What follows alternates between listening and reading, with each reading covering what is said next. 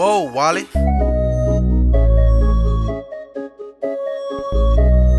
If you don't fold too fast, we don't fold you.